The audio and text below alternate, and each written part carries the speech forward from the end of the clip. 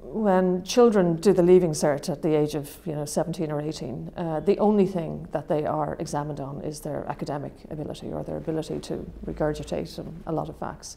And that's the only thing, it's a very fair system and all of that. But as you get older, the things that attract employers to you or things that make you successful in business very often have very little to do with how well you did in your leaving cert or even whether you got a 2-1 or a first or a 2-2 in your degree. They have very much to do with how you uh, project yourself, how you communicate. Uh, they have very much to do with how you can impress people, how you market yourself in a sense. Um, and it is those personal qualities very often that can make the difference uh, as between um, a successful business or you know the achieving of, of, a, of a particular uh, career aim. And I think as well as, as, as you get older and you mature a bit, you do see the value of networks.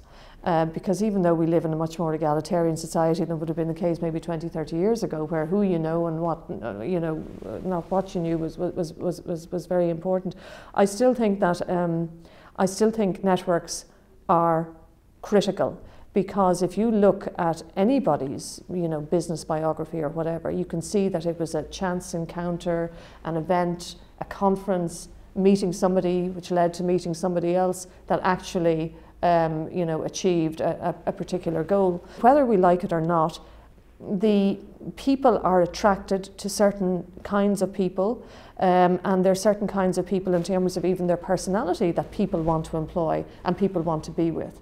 And that's the value of putting yourself about and joining networks because those networks will open up obviously your range of contacts, uh, but also uh, open yourself up to uh, much wider experiences, a much wider um, grouping of people who have the potential to give you opportunities somewhere down the road. I think it is definitely something that you can that you can work on. Uh, when I was a child, I was incredibly shy. I wouldn't pick up a telephone. I wouldn't ask for something in a shop. I was shy. I, I had a speech problem. You know, I, I was just. I mean, I was the quietest child in the class. And I remember at a certain point in my probably mid-teens, and I remember a moment I was sitting on the wall outside school one time and something happened, I don't know.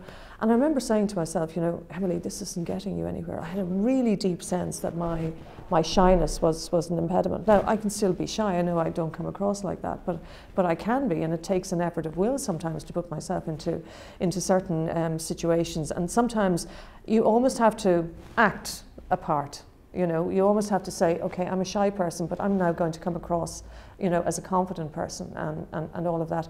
And after a while, you actually grow into the role. Um, so I, I am a living example uh, of, somebody who, um, who did very consciously work at it and who put myself into situations that were difficult. It was a journey, but it was also it was also very much my journey. It was down to me, because again, it's something that I try and instill in my own children. That ultimately, it is only yourself that is going to make that progression. Dig yourself out of difficulties, and everybody, your mammy, your daddy, your friends, they can all sympathise with you. But ultimately, it's you who has to get your mind set to do that.